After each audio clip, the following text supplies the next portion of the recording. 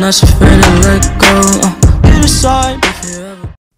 Hey, what's going on, guys? Today we're going to be looking at the top three young NBA stars that I think will have a huge impact on their team's performance in the bubble. Before I get into the top three, I want to give some honorable mentions. We got Ben Simmons, Shai Gilgeous-Alexander, Donovan Mitchell, and Zion.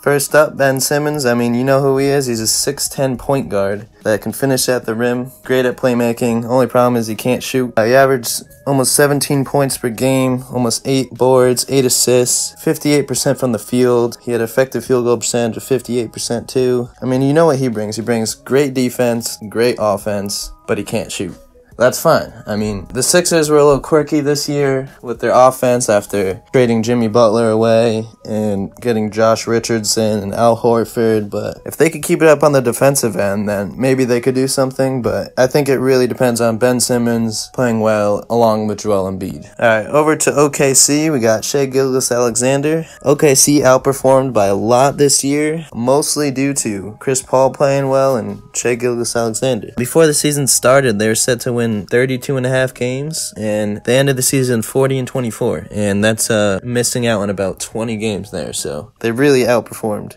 In his second year, he averaged 19 points, 6 boards, 3 assists, on 47% field goal percentage, and 35 from 3. He's not the quickest player out there on offense, but he's smooth with the ball and it works. He has a really long wingspan that helps him on defense, and I expect to see great things from him in the future. Onto the Jazz, we got Donovan Mitchell. This year he averaged 24 points, 4 boards, 4 assists, shooting 45 from the field, 36 from 3, and a 51% effective field goal percentage, which is decent. You know, in his first two years, he was good, but he definitely struggled from the field a little bit, taking some weird floaters and mid-rangers. He caught back on them a little bit, but I think there's still another level of Donovan Mitchell that we haven't seen yet. I think that final form is still there, and there's a few more years until we get there, but if he plays well, well, Rudy Gobert plays well, then maybe they could do something. They're the four seed right now, so we'll see what happens. Lastly, for the honorable mentions, we got Zion. I mean, I can't not mention Zion. He only played 19 games, but his impact was incredible. The Pelicans' offense was completely different. The connection between Lonzo and Zion was amazing. He was throwing lobs from almost full court to him, looking like some D Wade, LeBron stuff. He averaged 23 and a half, almost six boards, two assists on almost 60% from the field. So, I mean, he definitely can ball. It's just a matter of longevity for him, I think,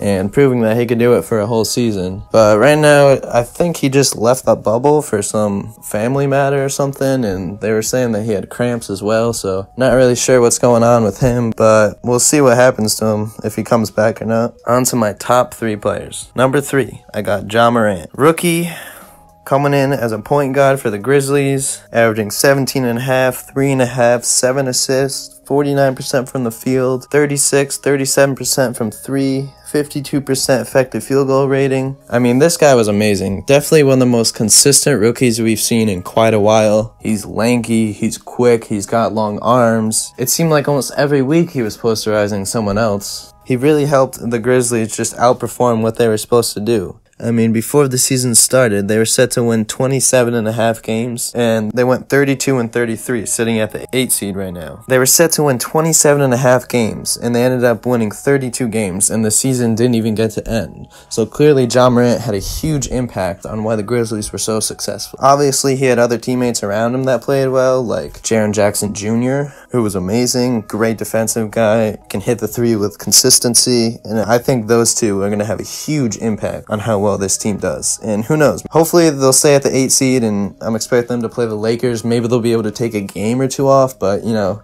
it's the Lakers, so we'll see. All right, next up at number two, we got Jayson Tatum. Tatum had a good start to the year. He was playing well. Definitely had his best year so far. His points per game has risen from his rookie year in 2017, where he averaged 14 points. 2018, he went up to about 15, 16, and this year he's up to 23, 24, which is great. And the Celtics have a great great team. They have three or four ball handlers that can really shoot off the dribble and make their own plays. In that second half of this season, Jayson Tatum was just going off. He was averaging over 30 points per game. He was hitting clutch shots in the fourth quarter. The Celtics were on a great win streak for a while. It just seems like when Jayson Tatum plays well, the Celtics are winning. And yeah, he could play good, but I expect them to really step it up and bring it to that next level and really embrace the Mamba mentality, if you know what I mean. R.I.P. Kobe. All right, number one. Could have guessed it. We got Luka. I mean, this dude's incredible. Second year in the league, averaging 28, 29 points pretty much, nine boards,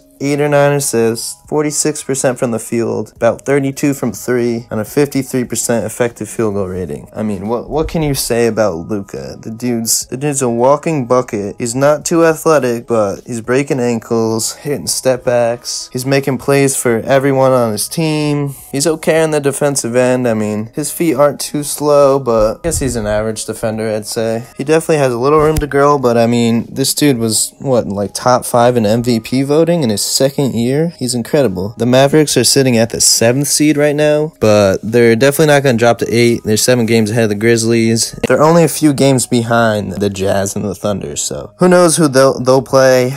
Right now, they'd be matched up against the Clippers, but I don't know. They could play the Nuggets if they move up to six and the Nuggets stay at three. I think that would be better for them, anyways. If Luka goes crazy and Porzingis is playing really well, as well as the role players they have around them, then the Mavericks have a really good chance of upsetting some teams. Alright, that's going to be it. Just want to thank you for watching. Please, please, please leave your opinions down in the comments below. I'll definitely get back to you. Um, if you like what you hear, subscribe for more. I'm going to be trying to make a video or two every week and put those out for you. Go follow me on Twitter. I'll be tweeting a lot about basketball, putting some video ideas up on there. I'll see you guys in the next one.